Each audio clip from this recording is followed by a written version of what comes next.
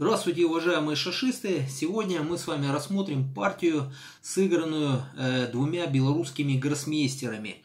Э, Владиславом Валюком и Игорем Михальченко. Владислав Валюк это международный гроссмейстер, сын Андрея Валюка. А Игорь Михальченко, ну это вообще суперзвезда, гроссмейстер. Э, скромный, кстати, человек, хочу отметить. Э, я считаю, один из лучших шашистов мира на данный момент. Очень много знает. Суперзвезда, что еще можно сказать. Но прежде чем мы с вами рассмотрим эту партию, хочу поблагодарить вас, зрителей, подписчиков, за то, что подписываетесь на канал, за то, что поддерживаете меня лайками. Это, что называется, греет душу. Благодаря вашей поддержке я продолжаю свою работу, не забрасываю э, как раз вот ведение шашечного канала. Большое спасибо, друзья. Ну давайте рассмотрим партию.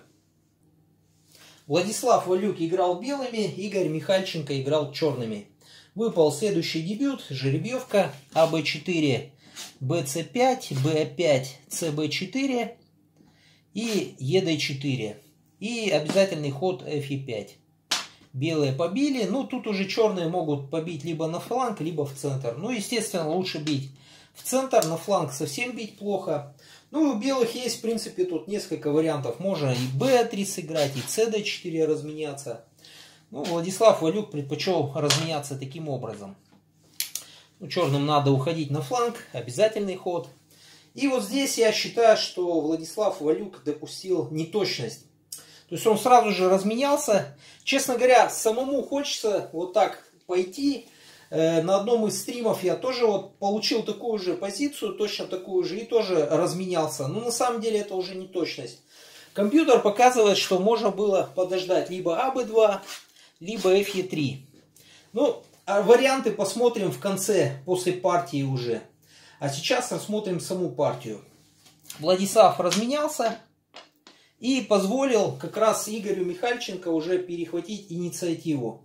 То есть в этой позиции Черные должны играть резко, и они перехватывают инициативу. HG5 последовал ответ от Игоря Михальченко. И обратите внимание, сейчас если уже играть GH4, то черные могут разменяться вот в центр таким образом. И видите, э, вроде бы центр у белых, но э, вот эта вот шашка на поле А1 э, ей мешает развиваться в центр. Свой же собрат на поле С3 ну и черные, по сути, получают контр-игру, их позиция не хуже. В, э, в некоторых вариантах черные даже могут побороться за победу. То есть отличный ход HG5. Видимо, рассмотрев эти варианты, не желая давать черным контр-игру, Владислав Валюк сыграл АБ2. Выжидательный ход. И Игорь Михальченко уже занимает бортовое поле. То есть, ну, большой мастер Гроссмейстер переводится как гроссмейстер. Большой мастер, конечно, э, начинает уже окружение позиции белых. Белые играют cd4. Игорь Михальченко играет АБ6. Ну вот здесь у белых еще была возможность получить, так скажем, контр-игру или равную игру хотя бы. Но белые ошиблись. Белые сыграли bc3, а можно было резко пожертвовать шашку вот таким образом и сыграть gf4. То есть на любой ход черных белые сыграют fg3, ну и получат позицию в принципе не хуже. Наверное, лучшее продолжение здесь за черных сыграть b7. Ну и после вот такого размена сыграть cb6. И белым надо играть dc3. То есть, в принципе, позиция равная. Могла получиться. Но белые пошли bc3 и получили худшую позицию. То есть в этой позиции Владислав Валюк сыграл bc3. Ну, Игорь Михальченко продолжает окружать. В этой позиции черные играют hg7. То есть подтягивают свою отсталую шашку. Белые играют gf4. И черные играют cd6. Белые разменялись. И черные играют gf6. Теперь белые уже подтягивают к центру свою отсталую шашку. Черная игра dc7, белая gh4 и черная b5. Ну, поставили ловушку, то есть хотят сыграть аб4 и d5. Здесь э, есть два хода, FE5 уже окончательно проигрывает, но Владислав Валюк здесь делает правильный ход, FG5. Этот ход еще не проигрывает. Позиция белых плоха, у них переразвитие. То есть, видите, у них две шашки на большой дороге. Черные рано или поздно вот эту шашку разменяют и получат э, позицию с переразвитием белых, будут окружать их. То есть, э, так называемые гамбитные позиции создаются. Черные, естественно, играют CB6. Ну и здесь белые сыграли GH6. Черные разменялись назад. В принципе, все логично. Ну и здесь э, Владислав Валюк допустил решающую ошибку. Еще была ничья после ЕФ4, а вот после ЦД4, как сыграл Владислав, тут уже все, как говорится, каюк. Черные играют ЦБ6. Партии последовало... Э, так, ЕФ2, сейчас скажу. Так, в этой позиции белая играет dc3, черная играет b5, белая играет ef2. Ну, то есть, в принципе, тут и уже пошли единственные ходы за обе стороны. b7, а, fg3, а b6, gf4. Черные меняются назад, то есть увеличивают еще переразвитие белых. Ну и белые вынуждены проводить комбинацию, которая на самом деле проигрывает. cd4, CB6, ну и здесь уже, то есть так, так же не пойдешь, приходится проводить белым комбинацию. Белые играют э, DE5, отдают две шашки, затем еще две. Проходят в дамки, вроде бы кажется нормальная позиция, но на самом деле эта позиция выиграна за черных. Э, кажется, вот эта позиция впервые возникла в партии между двумя гроссмейстерами, Зиновием Цириком и Юрием Арустамовым. Вот как раз Зиновий Цирик выиграл в этой позиции. Черные играют, ставят дамку, но именно на поле Е1, то есть не дают занять большую дорогу. Белые уходят на d8. И сейчас черным надо точно пойти. То есть ничье ведет э, ход на поле э, c3 это уже ничья, тут не победить. То есть э, как раз вот надо играть именно на поле h4. То есть если черные играют на поле h4, белые вынуждены отойти. Черные занимают большую дорогу. И обратите внимание, у них как бы дамка, дамка остается в тылу. Вот как раз за шашкой d6.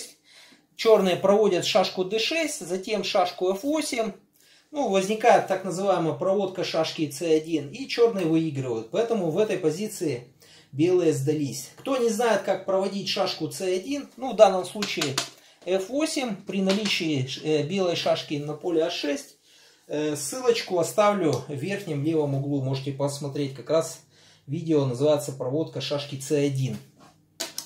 То есть, а если бы в этой позиции черные пошли на c3, то белые добивались ничьей. То есть в этой позиции белые нападают.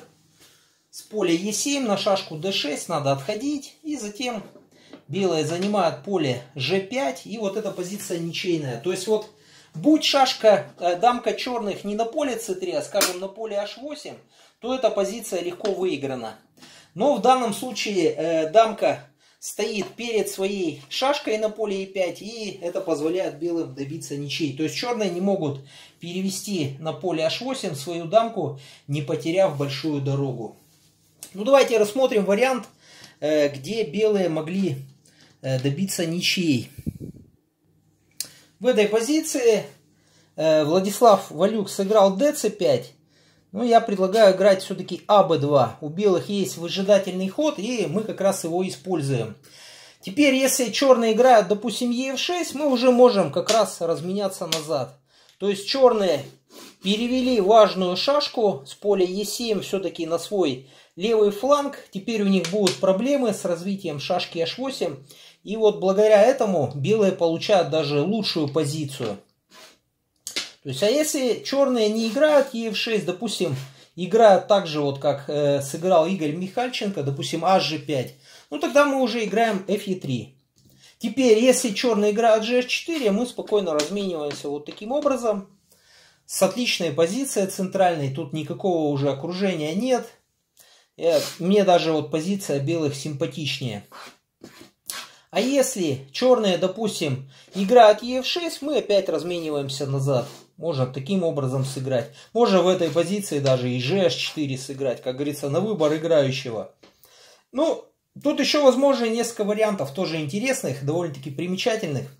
Если черные играют АБ6, то мы э, нападаем. Нападаем, черным надо отходить на фланг, и белые играют GF2. Теперь в этой позиции черные играют HG7, и белым лучше всего разменяться. И обратите внимание, хочется вроде бы назад побить с прекрасной позицией у белых, но на самом деле этот ход проигрывает. Надо бить только вперед.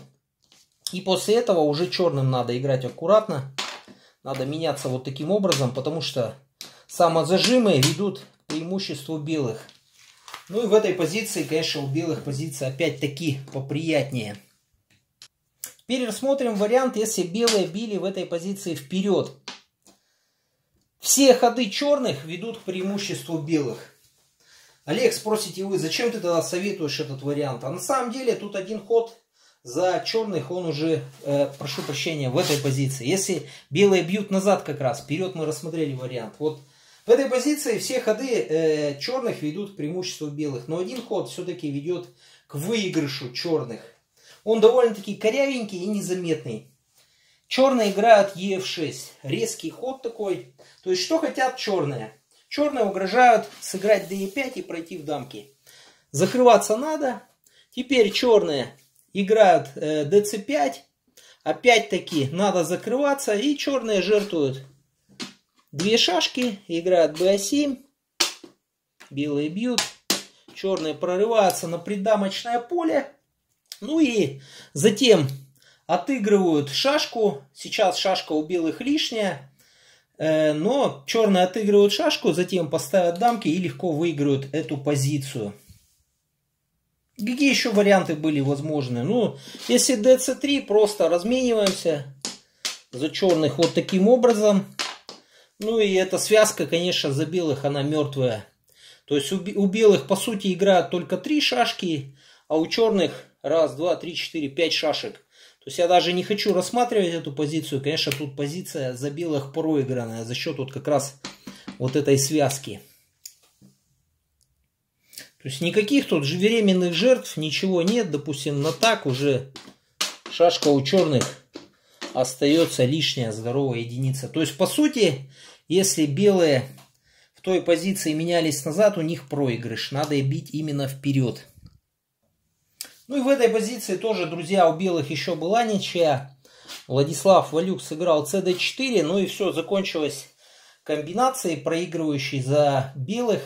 Но на самом деле ничья все-таки была, надо было сыграть ef4 и возможен следующий вариант, допустим, cb6, de3, b5, fg5, b7, ef4 и ab6. Ну, может dc5 сыграть, допустим. Тут без разницы. На dc5 мы размениваемся назад. Ну и тут лучше всего за черных сыграть АБ4. Белые снова размениваются. Допустим, играют черные FE5. Мы играем CD2, единственный ход. ED6, DE3, снова единственный ход. Ну и лучше всего пойти DC5. Тут белые, в принципе, могут и GF6 сыграть на ничью, но лучше, наверное, сыграть СБ4. Ну и как бы черные не играли, ничья у белых в кармане. То есть, если играют АБ2, побили, поставили дамку, жертвуем две шашки, играем GF6, ну, допустим, HG1, FG7. Ну и черные не успевают занять большую дорогу, потому что белые ставят дамку, то есть так уже не пойдешь.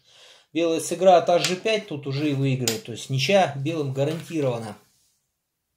Если же в этой позиции черные не жертвуют две шашки, а дают, допустим, шашку таким образом, пытаются выиграть АБ2, ну, жертвуем шашку обратно, она у нас лишняя за белых. Играем CD6, грозим подорвать пункт F8, надо играть GF6, играем DC7, э, надо жертвовать, ну иначе вообще никакой инициативы. Ну, допустим, поставили дамку на C1, мы тоже пошли в дамки. Надо играть на f4, b7. Уходим на b8, ну и bc5. Ну и как играть? Тут уже, как говорится, не выиграть. Если, допустим, так играют черные, ну просто отдали шашку. и поставили дамку. Позиция ничейная. То есть еще раз в этой позиции играем Е4, ЦБ6, ДЕ3, БА5, ФЖ5, БА7, Е4. Именно вот сюда ходим, то есть создаем вот такую колоночку. И теперь, если АБ6, ДЦ5 мы уже рассмотрели. Если черный играет АБ6, мы играем ЦД4. Ну и как играть? Надо меняться назад. Теперь белый играет ЕД2. Именно таким образом, единственный ход. И после ДЦ5, либо ЦБ6, белый играет Фи5. И ничья у них в кармане. То есть, если черные бьют сюда, то мы уже меняемся просто.